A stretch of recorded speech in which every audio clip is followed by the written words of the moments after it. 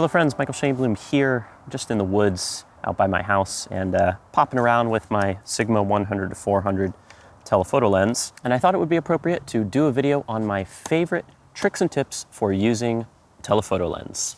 Uh, this is one of my favorite things to do with this lens is to use it on less than ideal days for landscape photography. Now I know this is probably a little subjective, but uh, less than ideal landscape photography days being days that are clear, days that are overcast, days where there's just not a lot of texture in the sky. One of my favorite things to do with this lens is isolate the subject without the sky. So it's much easier when you can actually zoom in and pick out little areas of the scene to focus on. Because when you're standing in a scene like this and you're using a wide angle lens that sees everything, it's really hard to isolate out certain areas or not get the sky in the frame. You end up having to point the camera straight down if you want to get a wide angle shot without the sky. I find it a lot easier with this lens. I find it super easy to just be creative, have fun, and create some really intriguing shots, even when the lighting is, well, considered kind of poor. So I'd encourage you, if it's looking kind of clear out, you still want to go take pictures, pop on the telephoto lens and just play around, just see what you can find, do some handheld shots, and uh, might be able to find some really interesting stuff. I've actually taken some of my favorite landscape images with this lens in less than ideal conditions.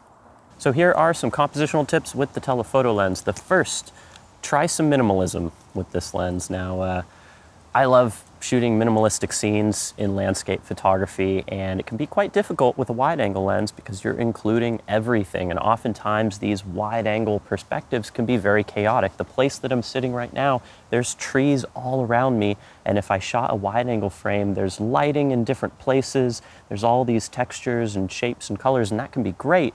It's definitely not simple, um, but with this lens, you can really isolate those objects. You just have to remember if you're trying to go for minimalism, just look for simplicity, look for those empty spaces, look for repeating lines and shapes, um, whether that be a tree sticking out of a sky with just a cloud in the background or a patch of fog with a little hill on top. You can create some really intriguing stuff with this lens. Okay, now on the opposite side, this lens is great for intimate shots abstract shots of textures and patterns. And uh, it's one of my favorite things to do with this lens. Just go ahead and fill the frame with your subject, providing your subject is interesting enough and there's enough repetition of shapes or textures or patterns or colors to make that type of intimate shot work.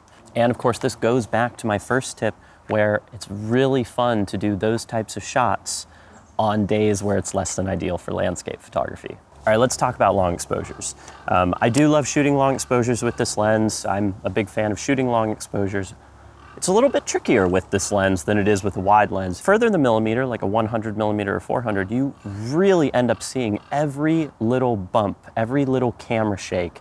This could be caused by a number of different things. The first tip I have for you in this regard, make sure to get yourself a shutter release and use that when you're doing your long exposures, or use the camera on a timer mode. Set the camera, click the timer, and then let the camera go while the exposure clicks so you make sure there's no camera shake because even just clicking the shutter ever so slightly can shake the file and make it blurry.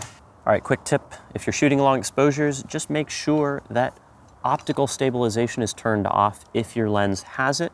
Optical stabilization is great if you're shooting handheld shots. It can help to stabilize the shot a little bit, but it can actually make your frames blurry if you're shooting long exposures on a tripod. So make sure to avoid that by turning it off. The third thing to look out for with long exposures is wind. Wind is a nightmare for long exposures with the telephoto lens. I've ruined a lot of shots by just having a little bit of wind while trying to get a 400 mil shot or a 300 mil shot. Some things you can do find a rock, try and place yourself behind a rock, shield yourself as best you can from the wind. If you can find a bush, a tree, a rock, just any kind of cover, get your tripod as low to the ground as possible, weigh down the tripod, make sure your tripod is sturdy. These are all things that are gonna help. And if you're shooting in the wind and there's no cover and there's nothing else you can really do, Um, the last thing I would recommend is to just wait for little patterns in the wind where it shifts and maybe stops for a few seconds. I've actually done that for some of my shots. Uh, just keep taking images until one of them is in focus. But if you really want that shot, you just have to try your best. And also just make sure to check into 100% to make sure that those files are in focus on the back of your camera. While I do enjoy shooting long exposures with the telephoto lens, actually most of my shots are handheld and most of my shots are quick shutter speed. So if I don't have to smooth out water or smooth out clouds, um, I love just hand holding this lens, popping around, taking different shots. And I find I'm able to be a little bit more creative when I use this handheld. Sometimes when you have a tripod, it feels a little bit more restrictive. And I do recommend when you get to a spot, don't just pop the camera straight onto a tripod. I definitely recommend to scout your images handheld beforehand. Now, if you want to fine tune the composition, you want to do focus stacking or a long exposure, you just can't get the composition perfect, then okay, once you've found your subject, pop it on a tripod. But I definitely recommend before you decide to put your telephoto lens on the tripod, go ahead, look around and scout handheld with it. It can be a lot of fun. When you're shooting your handheld shots, uh, also make sure that your shutter speed is high enough to handle you hand holding the shot. And uh, it's recommended that you shoot a shutter speed that is higher than the millimeter that you're shooting. So if you're shooting 100 millimeters, one one hundredth of a second. If you're shooting 400 millimeters, one four hundredth of a second. This is probably as low as I would ever go. Optical stabilization can definitely help with that as well. Personally, uh, my general rule of thumb, what I've done to just make it easy on myself is to actually shoot most of my shutter speeds double what the millimeter is just to be safe and then I don't have to think about it. So if I'm shooting 100 millimeters, I would actually do one 200th of a second. And if I was shooting at 400 millimeters, I would try and do one 800th of a second. Now, of course, if it's getting dark and it's unavoidable to go down on your shutter speed, well, then I would probably consider popping the camera on a tripod. All right, so one of my favorite tips is this one's actually a little bit more weird and creative, is to actually use foreground as bokeh with this lens. Um, use the depth of field of this lens to your advantage. So um, it's pretty fun to just pop in front of different bushes, trees, foliage, even branches, and it creates this beautiful texture in your photographs. Textures, colors, um, creates almost like a painterly look. So I definitely play around with this. I've created some really interesting images by doing this technique. Even when, the, it's funny, even when the foreground doesn't look very interesting, it can make for a really intriguing photograph. And my final tip is to just practice, practice, practice, get out there, have some fun, don't put yourself in a box. Um, don't take it too seriously. It's just taking pictures. Oftentimes, the times where I've just gone out and had fun are the times where I've actually taken my favorite images.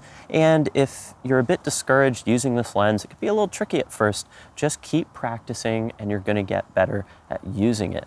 Eventually, it's almost going to be just second nature shooting with this lens. But you really have to just get out there and play around and have fun. All right, well, I think that's going to wrap it up. I hope these tips were helpful for you. If you enjoyed the video, please give it a thumbs up. It helps me out a lot. And subscribe to the channel because I'm going to be releasing a bunch of new videos like this one in the future. And uh, yeah, as always, catch you in the next one.